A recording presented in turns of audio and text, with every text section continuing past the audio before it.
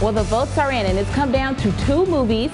Infinity Ooh. War and Endgame. Here to reveal the winner of our Marvel Cinematic Universe bracket, we've got our in-house Marvel guru, Stephanie is here. We're so excited about this, oh, Stephanie. I'm excited. Because everyone has been waiting to see who has won the That's right. bracket. You betcha. Okay, Yeah. take it away, because we want to know. Oh yeah. So what we did is every year our station does like a fun bracket. So Yes. last year we did Little Debbie snack cakes bracket, which of course oatmeal cream pie dominated. Of course, But anyway, yes. so this No year we decided to do Marvel movies. So Uh-huh. I took all 23, ranked them 1 to 23, Okay. with Infinity War being my favorite Marvel movie. And Okay, then, so of are these ranked based on your favorites? Just and my that's how they're favorites. seated. Okay, got Number it. 23, of course, the worst movie in the MCU, Iron Man 3. Okay. So that's how we started. Strong and we opinions. basically just got right into round one. Okay. Uh, where we did see a couple of uh, surprises, actually. Yes. So the first one that I noticed was number 20, Ant Man and the Wasp, beat out the original Thor movie. I think it's up here. There we go. Okay. Yeah, so beat out the original Thor movie, which I was surprised by. Yeah. But Yeah, I like both of those. arguably, Paul Rudd is great. Yes. His uh, humor is good. And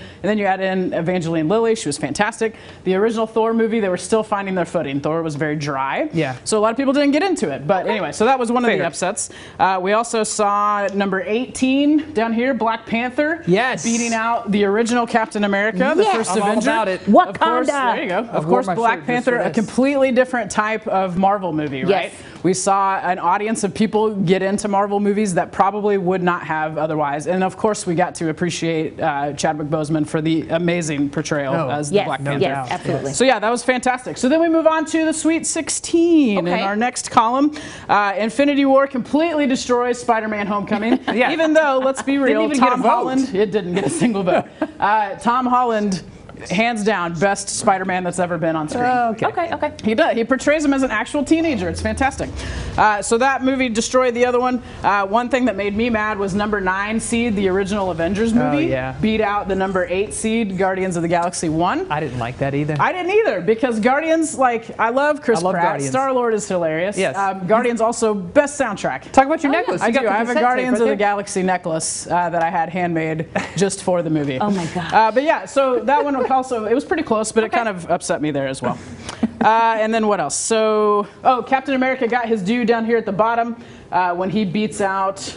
Uh, wait, where is it? Oh, here we go. Right there. Yeah. Captain America: Civil War beats out Black Panther. Okay. Uh, yeah, for the Sweet 16. So pretty pretty handily there as well. So that moves us on to the Elite Eight. All Elite right. Eight. Back up here at the top, uh, Avengers: Infinity War easily beats out the original Avengers movie.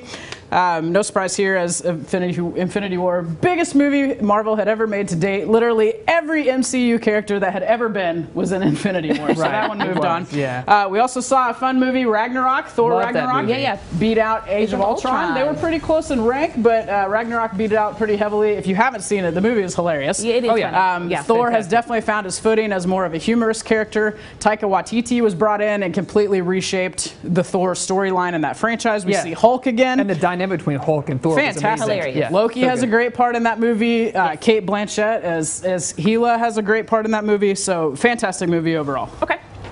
Uh, then another close one, uh, number two, Captain America: Civil War, bare, like barely beats out the original Iron Man. Oh, just by by one one vote. Okay, One yeah, yeah, vote. yeah. That one was a close here. one. And I mean, uh, Iron Man kicks is what starts the MCU off, Yes, right? I so love that movie. Original Robert Downey Jr., but Civil War again is our first look at what it was like to have all these Avengers Right. in one movie. So it's a Right. fantastic move. Okay. So that gets us to our final four. Yes. Two major defeats here. Infinity War beat Ragnarok Okay. pretty eh, decent amount there. So Infinity moves on, and then Avengers Endgame beat out Captain America: Civil War, just like destroyed it there. So you got Endgame and Infinity War. Endgame and Infinity War. That's the two last movies. Okay, now we don't know who's actually Yeah, won. I don't Stephanie know. wouldn't even tell us. So I think I know by the way that Stephanie's walking around. So here's the winner. We've got video, I think, uh, but the winner by one vote. 11 to 10 Ooh, it was close. is what it was. championship. Uh, it was Endgame. Won, won the whole thing. Yes. So That's yeah. what I voted for. So in, in- Infinity War was a Thanos movie, right? That was your best villain ever written. Was was Thanos in Infinity War, and I will still argue it's a better movie. However, Endgame was like your goodbye to the Avengers. We said goodbye to all of them. We did some fun time travel, uh, but yeah, we got to see like how it all wrapped up. We know that Robert Downey Jr. is done as Iron Man. We had a brilliant death scene there when he died in the funeral. Uh, Cap, we know, is done. Chris Evans has said he's not coming back. Uh, we got to see him catch Thor's hammer, which was brilliant. We also got to see him use the, the words we've been listening for Avengers Assemble! That's it. he says in, in Endgame as well.